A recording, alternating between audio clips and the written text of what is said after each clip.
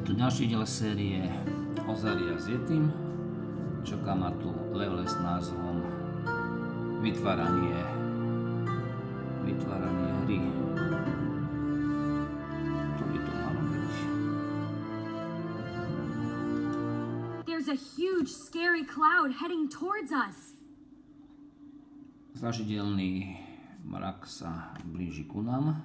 You must have alerted the darkness when you fixed the monolith. Asi si zbudila temnotu, keď si opravila monolit. Alerted? You mean the darkness is alive? Zbudila to znamená, že temnota je živá. Yes, kinda. I, don't know. But I know we have to hurry. Áno, určitým spôsobom neviem, ale to, čo viem, je, že sa musíme You ponáhľať. need to build a game that can trap the darkness. So let's start with that. Musíme vytvoriť, ty musíš vytvoriť hru, ktorá dostane temnotu do pasce, dajme sa do toho. Astra started making a game called The Gauntlet when she disappeared. This game has tools that'll help you finish what she started. Astra začala vytvárať hru nazvanú Rukavica.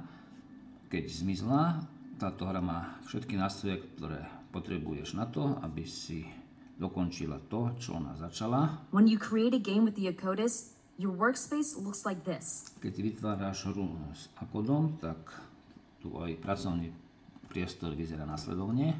Hey, that looks like the screen I've been using all this time. To vyzerá ako obrazovka, ktorú som používala celý čas.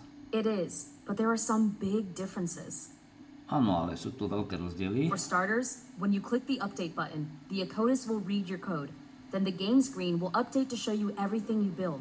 Keď klikneš na tlačidlo Update, aktualizácia, tak Akodus prečíta tvoj kód a zmení sa aj herná obrazovka. This game also has a super helper. They're like a normal helper, but they move lightning fast and build instantly. Hra má tiež super pomocníkov, alebo super pomocníka. Vyzerajú ako normálny pomocník, ako normálni pomocníci, ale pohybujú sa rýchlosťou svetla a tiež okamžite vytvárajú, čo treba. Let's see, what else? This icon shows where the player will start in your game. Táto ikona, to je ikona štartu tvojho hráča. And when you click the play button, you can try out your game. Keď klikneš tlačítko play, hrať, hrať, tak môžeš vyskúšať si svoju hru. Use the arrow keys to get your player to the exit without running into the boss. Tvojím cieľom sa dostať do východu bez toho, že by si narazil na bossa. Pohybuje sa pomocou šípiek. That's a lot of code. To bude veľa kódovania. You'll be fine. Just remember to check your code bank if you get stuck. Zvládneš to, nezabudni konzultovať banku kódu, keď sa zase- zasekneš. I'm gonna go get the tower defenses online to buy you some time. Získam ti čas. Okay, Mouse. Let's go make a game. OK, mouse, myš. Dajme sa do tvorby hry.